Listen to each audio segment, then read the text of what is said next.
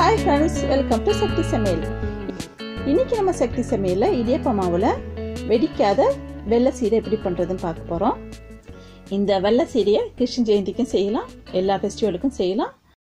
வாங்க இந்த வெள்ளை சீடையை எப்படி பண்ணலாங்கிறத வீடியோவில் பார்க்கலாங்க. இந்த வெள்ளை சீடைக்கு தேவையான பொருள் என்னென்னங்கிறது சொல்கிறேன் இடியப்ப மாவு சர்க்கரை தேங்காய் பூ நெய் உளுந்து மாவு எல் ஏலக்காய் எடுத்து வச்சுருக்கேன். வெள்ளத்தை பவுட்ரு பண்ணிட்டு அரை கப்பாக அளந்து வச்சுருக்கேன். இந்த வெள்ளத்தை இந்த பாத்திரத்தில் சேர்த்துக்கிறேன். தண்ணி கால் கப்பு சேர்க்குறேன். இதில் போட்ட சர்க்கரை நல்லா கரையிற மாரி கொதிக்க வச்சு எடுத்துக்கிறேன். இப்போ இதை கொதிக்க வச்சு எடுத்துட்டேன். இது அப்படியே இருக்கட்டும். மாவு பசியறதுக்காக பாத்திரம் எடுத்திருக்கேன். இதில் ஒரு கப்பு இடியப்ப மாவு சேர்க்குறேன். இந்த இடியப்ப மாவு ப்ரிப்பரேஷனை நான் ஏற்கனவே வீடியோவாக பதிவு பண்ணியிருக்கேன்.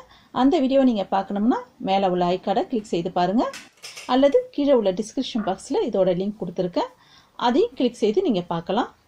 உளுந்து மாவு ஒரு டேபிள் ஸ்பூன் சேர்க்குறேன் இந்த உளுந்து மாவு ப்ரிப்பரேஷனும் நான் ஏற்கனவே வீடியோவாக பதிவு பண்ணியிருக்கேன். அந்த வீடியோவை நீங்கள் பார்க்கணும்னா மேலே உள்ள ஐக்கார்டை கிளிக் செய்து பாருங்கள் அல்லது கீழே உள்ள டிஸ்கிரிப்ஷன் பாக்ஸில் இதோட லிங்க் கொடுத்துருக்கேன் அதையும் கிளிக் செய்து நீங்கள் பார்க்கலாம். நெய் ஒரு டீஸ்பூன் சேர்க்குறேன்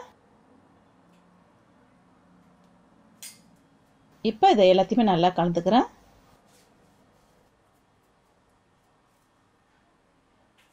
எள்ளு ஒரு டீஸ்பூன் சேர்த்துக்கிறேன். தேங்காய் துருவல் ரெண்டு டேபிள் ஸ்பூன் சேர்த்துக்கிறேன். இந்த தேங்காய் துருவலில் ஓடும் நாரும் இல்லாமல் பார்த்துங்க. இது ரெண்டுமே இருந்தாலும் சீடை வெடிக்கும். ஏலக்காய் ஒன்று பவுட்ரு பண்ணிவிட்டு சேர்த்துக்கிறேன். திரும்பவும் இது எல்லாத்தையுமே நல்லா கலந்துக்கிறேன். சூடான சர்க்கரை கரைசலை நேரடியாக சேர்க்காம வடிகட்டி மூலயமா சேர்த்துக்கிறேன். இதில் கல் தூசி இருந்தாலும் சீடை வெடிக்கும். அதனால் வடிகட்டி சேர்க்கறது ரொம்ப நல்லது.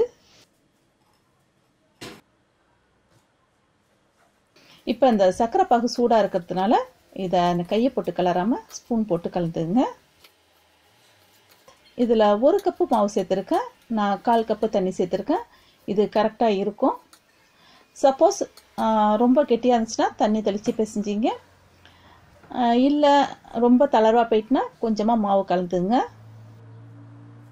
இப்போ இந்த மாவை மென்மையான பதத்தில் பிசைஞ்சிருக்கேன். இப்போ இந்த சீடை எப்படி உருட்டலாம் காமிக்கிறேன். இந்த சீடை உருட்டுறதுக்கு முன்னாடி கையில் கொஞ்சம் எண்ணெயோ அல்லது நெய்யோ தொட்டுங்க. இந்த மாவுலேருந்து கொஞ்சமாக மாவு எடுத்து இந்த மூணு வரலால சின்ன சின்ன உருண்டையாக ஊட்டிக்கிறேன் இந்த சீடை வந்து ரவுண்டாக வரணும்னு நினச்சிக்கிட்டு நீங்கள் ரொம்ப அழுத்தி ரவுண்டாக ஊட்டினீங்கன்னா சீடை வெடிக்கும். மேக்ஸிமம் சீடையை இந்த மூணு வரலால் ஊட்டுறது ரொம்ப பெஸ்ட்டு இது மாதிரியே எல்லா மாவையும் சின்ன சின்ன உருண்டையாக ஊட்டிக்கிறேன் இப்போ எல்லா மாவையும் சின்ன சின்ன உருண்டையாக ஒட்டி வச்சுருக்கேன். இப்போ ஒரு நல்ல காட்டன் துணி எடுத்திருக்கேன். இந்த துணியில் உருட்டின சீடையை போட்டு முப்பது நிமிஷம் காய வச்சிடுறேன். இதேமாரி காய வைக்கும் போது சீடை வந்து ஒன்றோட ஒன்று ஒட்டாது. சீடையும் சீக்கிரமாக வெடிக்காது.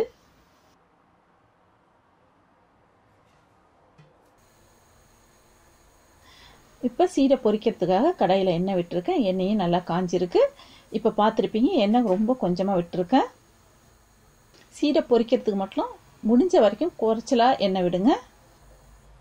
அடுப்பு வந்து குறைவான தீயில் ஏறிட்டோம். இந்த எண்ணெயில் காய வச்ச சீடியை கொஞ்சமாக சேர்த்துக்கிறேன்.